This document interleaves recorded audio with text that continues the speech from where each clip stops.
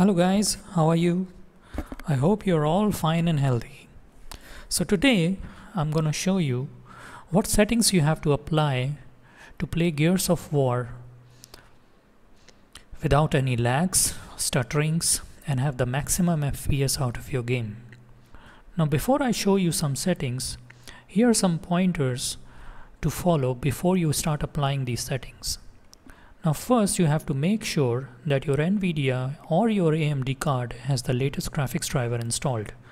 Now for NVIDIA cards, the recommended driver for Gears of War 5 is 436.50. And now if you have that driver, you can install that or you always can have the latest graphics driver downloaded from the geforce.com and install that driver for this game. Now I had 436.50 and the latest driver I have now installed on this PC. Now when I started the game playing with 436.50 I was experiencing stutterings, stuttering with FPS, stuttering with sound and I used to get at some places game unplayable. I never used I never used to experience the stutterings I have experienced with this game. So what I have done is I had removed 436.50 driver and installed the latest driver.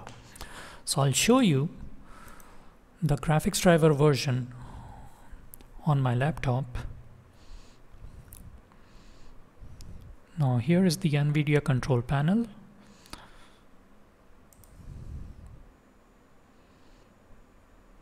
and here is the graphics driver. Now this is the latest graphics driver I have installed on my laptop. Okay. So now the settings that you have to do on the NVIDIA control panel. First open NVIDIA control panel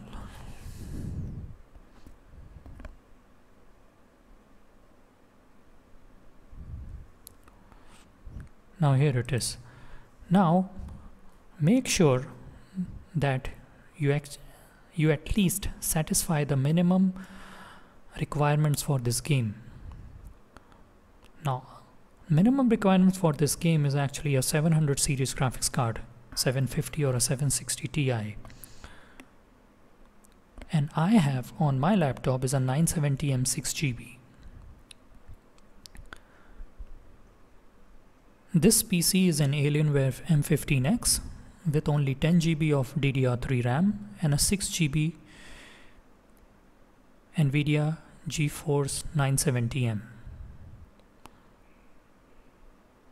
Okay, this is a full HD screen and it is running with an Intel quad core Core i7 at 740QM. Now, what you have to do is open the NVIDIA control panel and choose this. Use the advanced 3D image settings. Now click take me there and you have to make these settings what I have done on the NVIDIA control panel.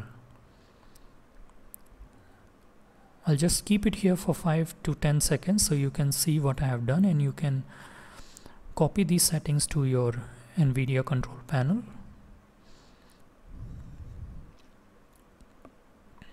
and you can also use these settings on a 1000 series uh, graphics card and a 2000 series RTX graphics card. I even saw a 1000 series graphics card and 2000 series graphics card stuttering. So these settings you see here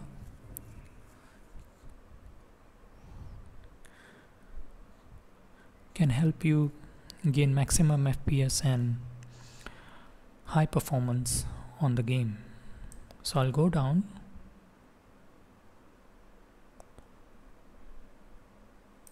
From here you can see these settings you have to do on the NVIDIA control panel.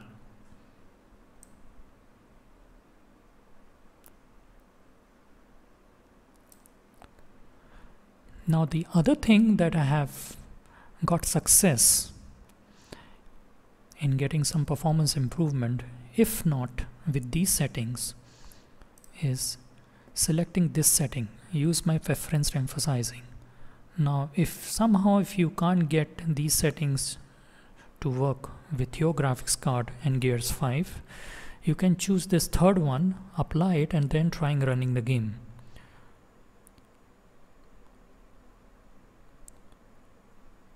I had I had choose this setting use my preference emphasizing to balanced and quality. And it gave me some improvement but when I had changed these settings on the NVIDIA control panel and these settings I have done just by luck. I, I thought just make it off and let the in-game settings take over. But most importantly what you have to do here is this power management mode should be prefer maximum performance okay and your Windows Mobility Center or your power plan should be high performance. Right now it is balanced, so I change this to high performance. Okay.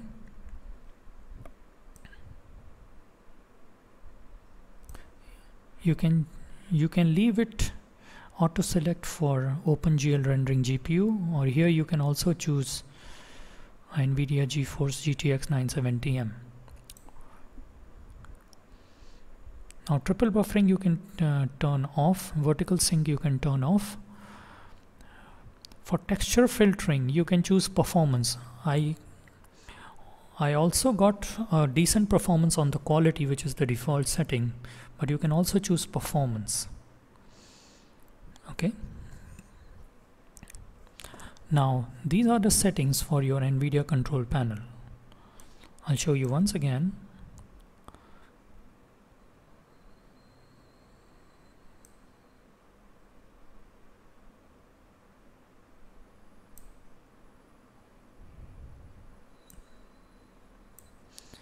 okay. So you can use these settings or you can use use my preference emphasizing but mostly you're to get maximum performance out of the second one. Use the advanced 3d settings. Okay. The next is the sound. Now for sound what Microsoft recommends is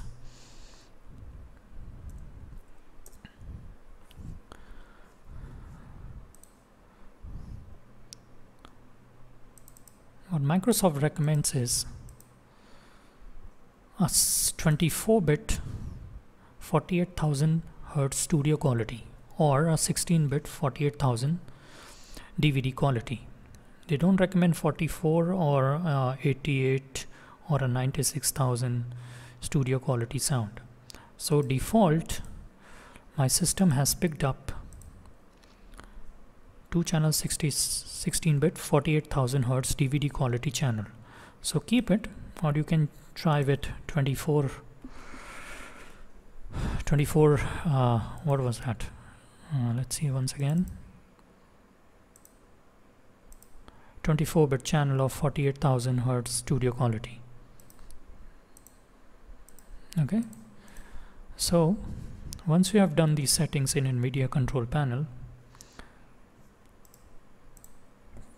launch the game. So let's get into the game straight away.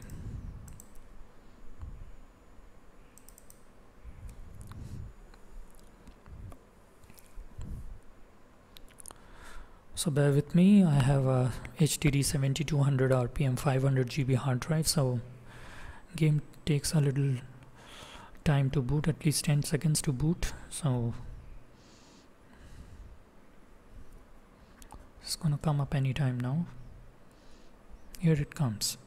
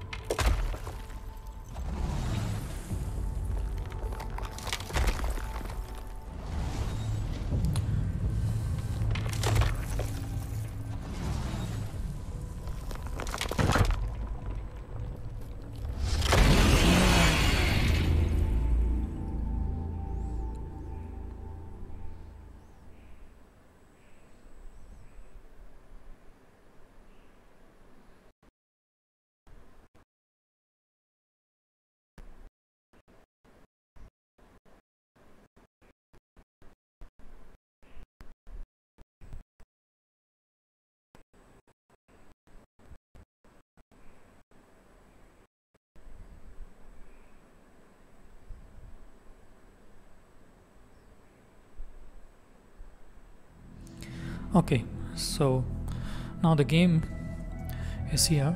I'll just press enter to play. And when we get into the graphic settings I'll show you what exactly you have to do with the in-game settings. So let's start.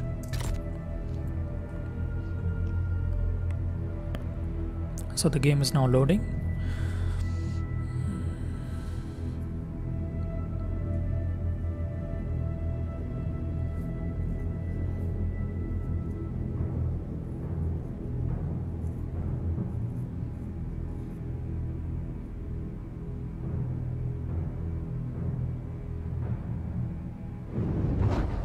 okay so here it is. So before you start playing the campaign come to the settings choose options and choose video. Now there are very minimum settings you have to do here. Now first of all what you what you should do should do is you keep it on recommended. Okay this will take the optimal settings for your game. Okay now set in the changes where you have to do is first one is the maximum frame rate. Now this you have to keep it as 30 okay I have success keeping this on 30 now if you have a 1000 series Nvidia card or an equivalent AMD card you can keep this on 60 but don't keep it unlimited unless you have an RTX 2080 or a 3090 okay now I have I have success keeping this on 30 and I get a very smooth game gameplay with this game. You can even try 60 or an unlimited but somewhere you're gonna experience a drop in FPS or a stuttering with sound or graphics. So maximum success I have got is with keeping maximum frame rate equal to 30 okay? The other thing you have to change is see with the recommended nvidia 970m 6gb i get a recommended setting of ultra. Come down. The next thing you have to change is this motion blur. You can keep it off or you're on okay maximum success I have got is with this off. Now you can also try motion blur on but somewhere you're gonna experience lags due to motion blur on. So I'll keep this off. And the last one you have to change is the GPU keep GPU off your system. Don't keep it auto. Change to your graphics card. Okay. Now you can see the game is running on the resolution of 1920 by 1080 which is the resolution of the screen. So let's get into the game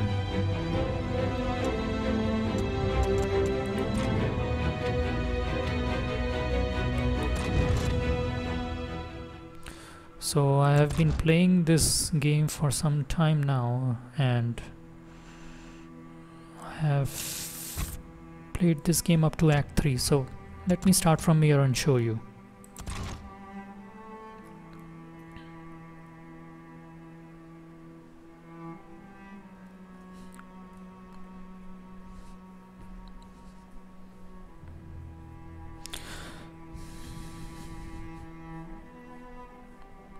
so suppose if you have a graphics card of Nvidia such as 960 or uh, a 950 you have to lower these quality settings but make sure you have at least 6 GB of graphics memory. So the game is now loading. It can load anytime now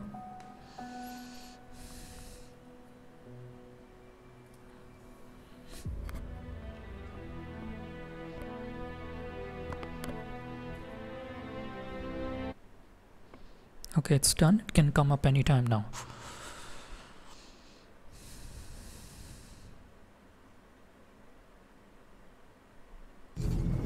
Okay so now you can see that it is super smooth running at full HD resolution. Okay. So let's go and shoot some locusts.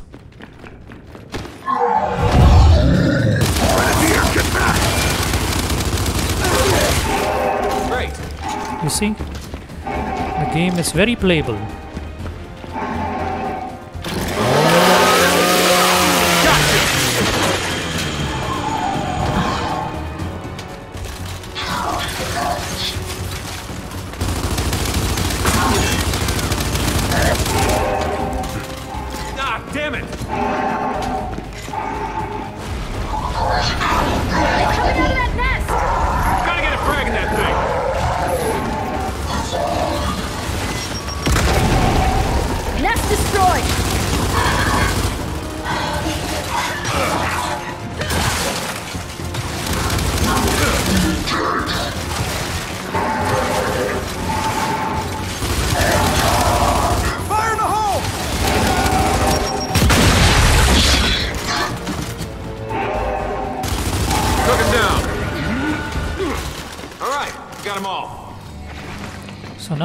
you can see that game is very playable Guys, we're in a silo. Baird, we found one of the silos, but it's it's very smooth Well, running more. at around 30 One of them's 35 fps Hope you're right. We ended the war once on this island. When we get this hammer satellite up, we can do it again.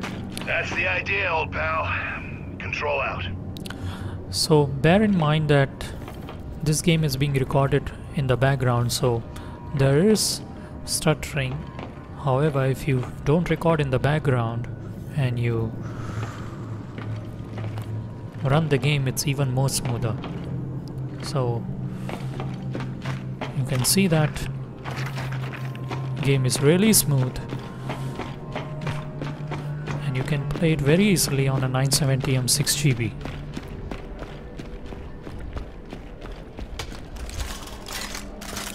So let's go through here and cut some wires.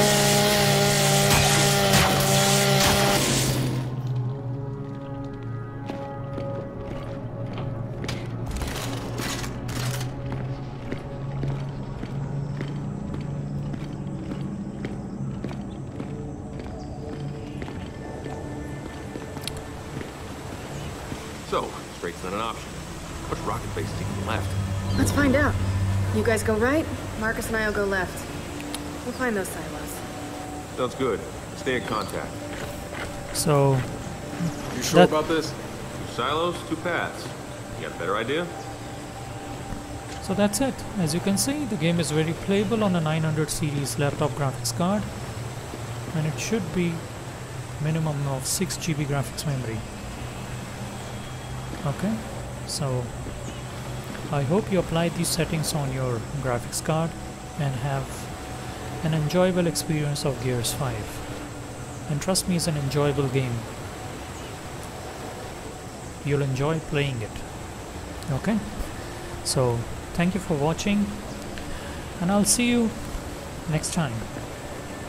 Bye